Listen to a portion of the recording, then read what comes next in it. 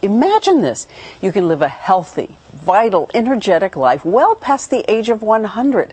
How close are we? Well, science is close to giving a second century of life to everyone through everything from radical cutting edge technology to simple changes in how you eat. And Dr. Mehmet Oz, the Oprah Show health expert, is going to be doing a full episode with her on this revolutionary topic tomorrow. But he sat with us right here and is giving us a sneak peek. It's a little known fact that Dr. Mehmet Oz is actually 180 years old, but he is here today to tell us. Hello. How are you? Okay, let's get started. Are you saying we're actually looking at the possibility that 99 is the new 50? It is a true, and in fact, what we're really talking about is this whole concept of extreme longevity. Okay, what do we know for sure today that we can do? Well, first of all, we know there's a chemical called sirtuin that tells the body to live longer. So, what's the best mechanism? It turns out that if you take rodents and you cut down their caloric intake, it's called calorie restriction, by a third, they'll live a third longer. Imagine that.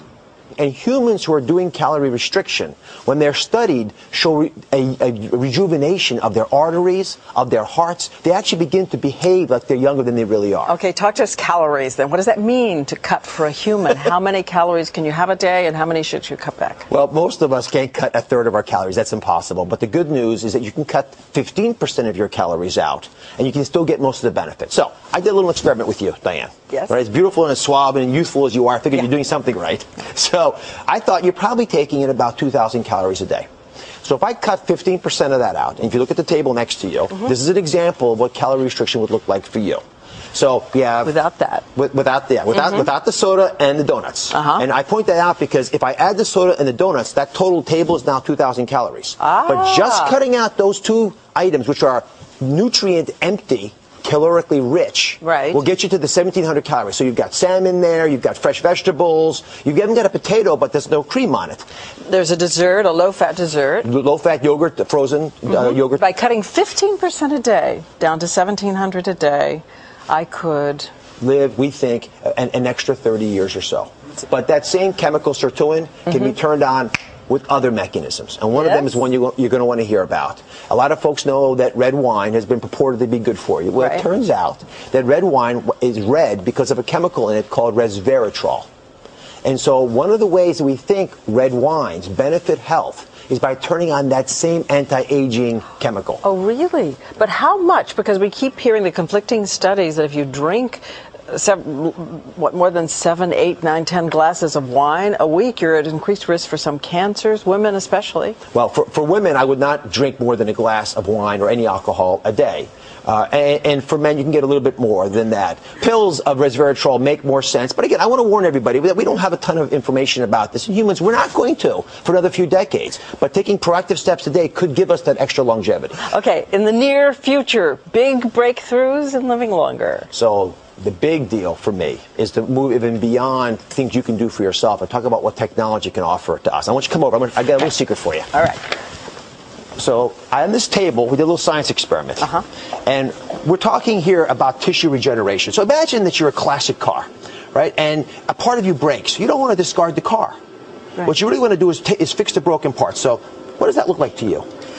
It looks like an ear. It looks like a styrofoam You can ear. hold it. It won't bite okay. you. Does it feel sort of solid? Yeah, very solid. Right. So this is actually a mold for a human ear. So if you're a GI injured in war, you had frostbite and lost your nose, we could actually make re-engineer cells. So we take your blood, add it to the mold, and your cells will begin to repopulate this and make you a new ear. That this we can is being done now. Being done today. It's actually been implanting for bladders. There's lots of different organs we can begin to replace. But this is the first generation. What I'm about to show you now will really blow your mind.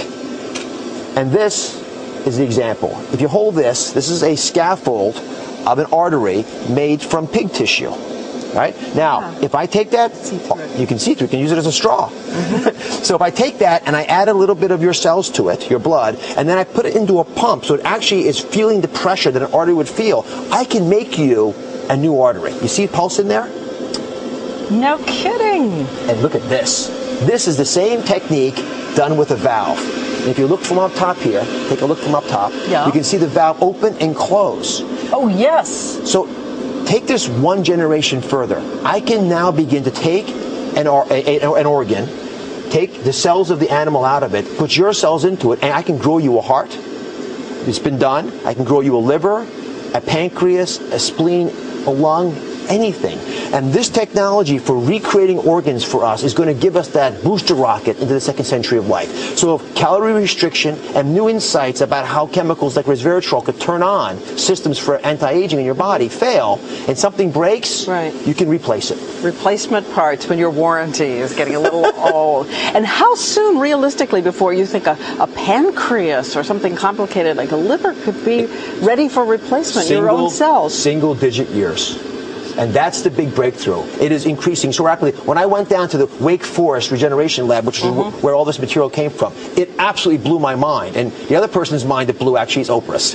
Yeah, that's a pig heart that with all the cells taken out of it. Exactly. Yes. So you would take that pig heart and inject some of your own cells. Take my blood, Take your spit blood. it down, Yeah. put the cells into this, baste it in that chamber that we showed in the video, and it will slowly grow your own organ back. That is incredible. that is. Don't y'all think that's incredible? That is. In, To see her just absolutely as fascinated as I was means that this stuff really can capture our imagination. And where our imagination goes, our science will follow. What about replacing a brain? I'm not kidding. Could you grow a brain? Uh, you know, Go with that beautiful new body? You could probably grow parts of the brain. So, for example, you could cure Parkinson's or memory Mm. loss or spinal columns. But, you know, Diane, you are who you are. And I don't know if you want to have a, a new infrastructure for that. You probably want the software that you've accumulated. All right. Well, you're going to do more with Oprah tomorrow. We've got lots of cool stuff. We're going to do hyperbaric oxygen, uh, infrared sauna baths, lots of cool things about extreme longevity. It is here. It here. is now.